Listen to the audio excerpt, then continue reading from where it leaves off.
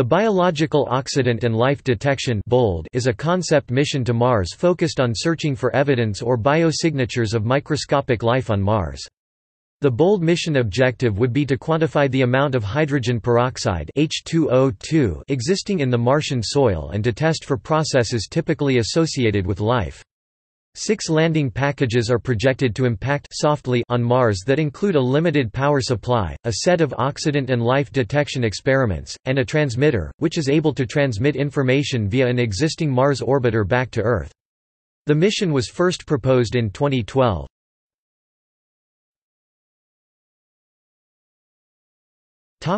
Overview The Viking program to Mars was the only mission to date that conducted life detection experiments. It revealed ambiguous and still controversial results. The mission proponents argue that new findings and hypotheses urge a re-evaluation of the Viking results and a re-evaluation of the evidence for the possible presence of life on Mars in general. Recent and current missions to be launched focus on habitability considerations e.g., Phoenix, Mars Science Laboratory, but shy away from directly testing for life on Mars, with the potential exception of the ESA ExoMars mission. The BOLD mission is designed to be less expensive than most current Mars missions as it consists only of a carrier vehicle with six probes attached. No orbiter is assumed. Instead the probes take advantage of existing Mars orbiters for communications relay. The number of probes is intended to provide a certain degree of mission redundancy in case some of them do not land successfully or fail.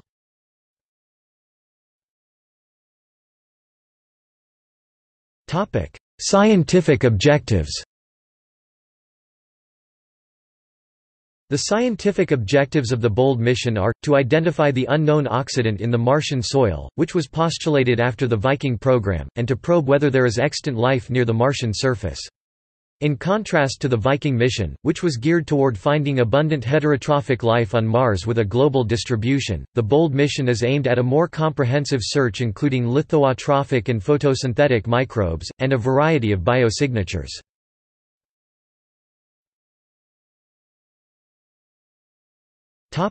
Lander probes If selected and funded, the carrier vehicle with the landing probes would be propelled into a circular orbit around Mars. The orbiter would be equipped with a small solid rocket to provide the deceleration required to insert the spacecraft in an entry trajectory that can safely release the probes on the Martian surface. A terrain navigation system, coupled with robust propulsion, potentially permits targeting with precision on the order of meters if required to meet the science objectives. Each probe would have a mass of 59 kilograms, 130 pounds, with a science payload of less than 10 kilograms, 22 pounds. Each of the probe's lander system uses a parachute and a crushable shell behind the heat shield for a soft impact landing.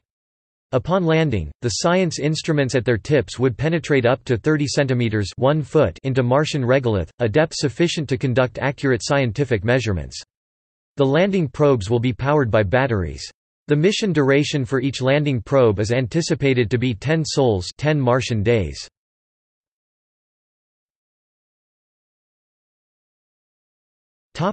Instrument payload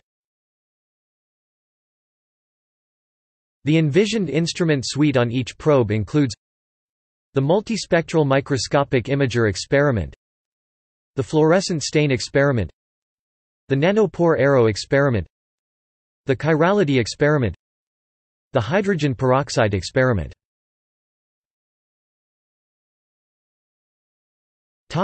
See also